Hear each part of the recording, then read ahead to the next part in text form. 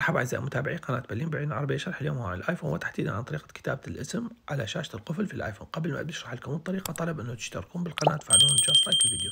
في البداية هذه الميزة موجودة بالآيفون لكن ميزة بعد يحتاج لها تطوير حتى تصير أحلى وأحلى.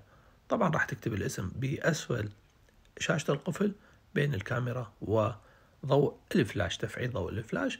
خلي أدخل من داخل الآيفون أشرح حتى نكتب الاسم على شاشة القفل راح نروح على الإعدادات. من الإعدادات؟ راح تنزل على خيار التركيز. تختار علامة الموجب وتختار مخصص وهنا تكتب الاسم. لو اخترت برلين تقدر تختار اللون اللي تريده وكذلك تختار هنا إضافة. هذه الأيقونات الموجودة إذا اخترت منزل والتالي وهنا تخصيص. مثل ما تشاهدون.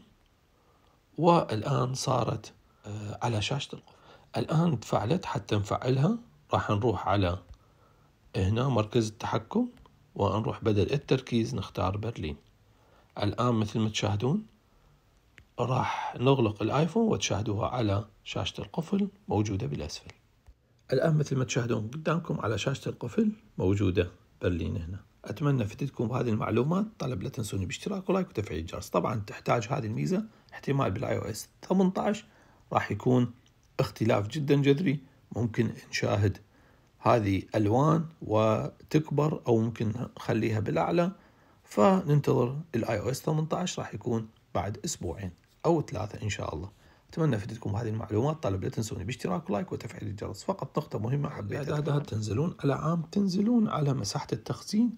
هذه المساحة الكلية 128 المستخدم. 95 الفرق بيناتهم لازم يكون 20 جيجا. الآن دخل علي وكل يوم يدخل علي واحد يعني 120 يوم أمس كان الهاتف 64 المساحة المستخدمة 63 فهذه خطر على الآيفون. ممكن تنحذف التطبيقات. ممكن الآيفون مالتك يعني يصير به عطل ويفقد كل البيانات. فحاولوا دائما تخلون مساحة غير مستخدمة وإذا ما تعرفون ادخلوا لي بالخاص وأنا أشرح لكم. مع السلامة.